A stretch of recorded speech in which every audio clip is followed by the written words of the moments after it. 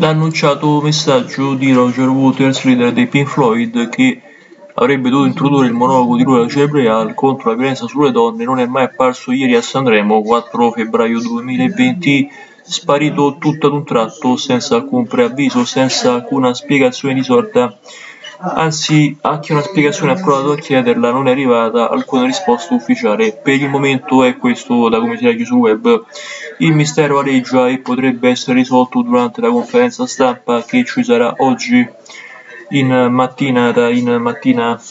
Secondo alcune fonti il videomessaggio sarebbe saltato per problemi a livello di scaletta, che saranno però disvelati oggi in mattinata per la conferenza stampa ma per altri sarebbe stato un problema di natura tecnica.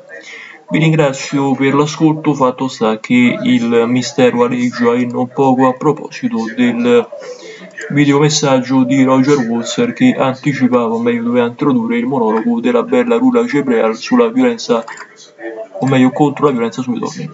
Un saluto caro da Leandro, narratore italiano, iscrivetevi al prossimo video.